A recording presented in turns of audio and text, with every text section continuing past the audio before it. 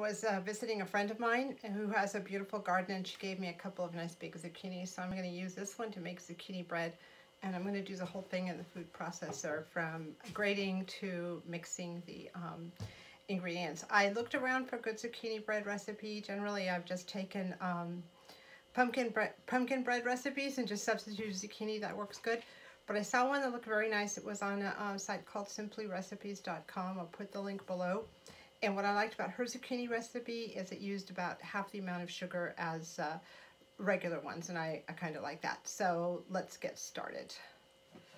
So the video calls for about three and a half cups of uh, zucchini, which you then drain. And uh, I thought I'd kind of give myself a little um, idea of how much that is. So I filled this up with three and a half cups of water and I put a piece of tape here. So I'm just going to keep throwing uh, chunks of zucchini in there until I get about this much zucchini, chopped up zucchini, then I know I'm pretty close to where I need to be.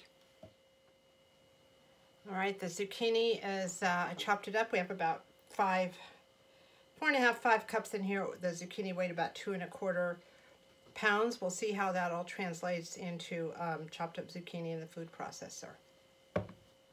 Okay, I have about half the amount in there already. I'm gonna maybe do it on pulse or high or low. I'll just see what seems to work best. I'll have to take the top off from time to time to probably to push it down a little bit with a spatula. So let's go.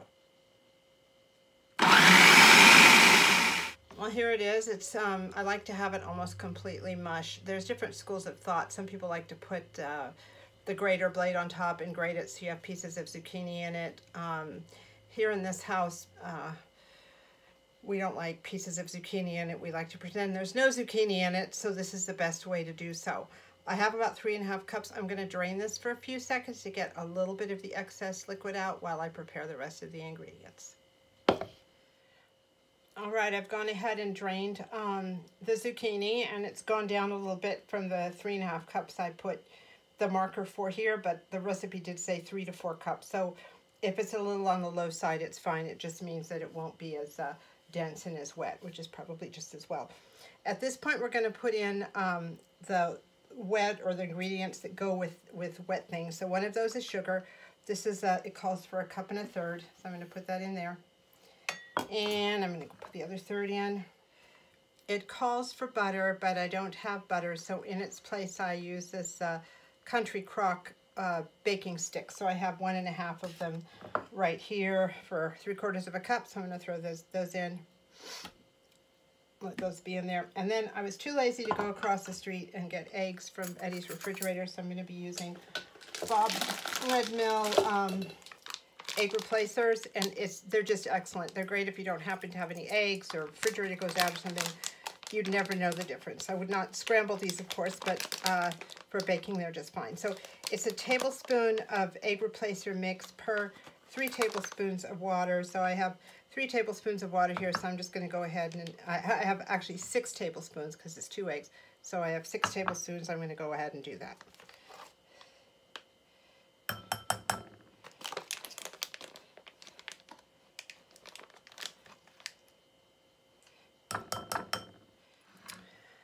Take a fork and mix it, and I like to let it sit for just a half a minute or so.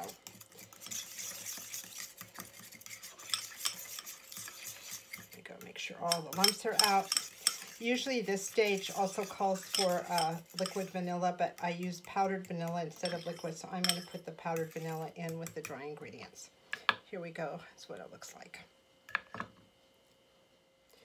Okay, I've gone ahead and uh, organized the dry ingredients and I put uh, three cups of flour, a teaspoon of baking soda, a teaspoon of baking powder, a teaspoon of cinnamon, half a teaspoon of ginger, uh, half a teaspoon of nutmeg, and because I don't use regular vanilla, I use powdered vanilla, I used uh, the equivalent amount, here it is, can you see that? Wait, turn around use about a quarter teaspoon of this per, uh, it's a, a, quarter teaspoon of this dried is equivalent to a half, uh, a full teaspoon um, of the liquid. So I used uh, half a teaspoon of this because it required two teaspoons of liquid.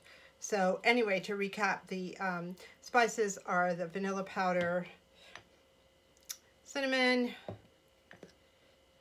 ginger, and nutmeg. And I'm going to mix that up right now with the whisk and pour it into the um, wet ingredients. So get this all ready so it doesn't clump up.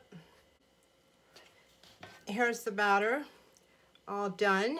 I put about half of the dry ingredients in kind of cup by, I third of a cup by third of a cup through the top. And at that point, I turned off the, um, the uh, food processor and took off the top and just put the rest in. So the batter looks good. And what I'm going to do is start uh, grease these and I'm going to start making mini muffins and loaves and whatever else I can make with them. I preheated the oven to 350 and let's see what happens. Well, here's the final verdict. 72 muffins, mini muffins. They are delicious. Um, some I'm going to keep around, some I'm taking, some I'm freezing. These came out great. The zucchini muffins were a huge success. Here's what they look like inside. They're really light. They're delicious. I would uh, try one for you right now, but I'm such a slow chewer. You would be here for the next uh, two hours waiting for me to finish a bite. Anyway, uh, some of the things you can do with zucchini muffins like this or zucchini bread, in the past I have put like cranberries in them or walnuts or chocolate chips. If you have um, granola, you can certainly sprinkle the granola on top before it goes into the oven for kind of a crispy topping. I just like them like this. I like them the way they are. Um, you can have them with butter or margarine um, or just plain. The mini muffin side is, size is perfect um, for snacks or for small children. They can get it into their hands. Anyway, this is definitely zucchini bread season because there's a lot of zucchini bread around. And uh, if you don't happen to have a zucchini at your house right now, believe me, it's just a matter of time before you do. so enjoy these, uh, these last days of summer as we head into the fall. And thank you so much for watching.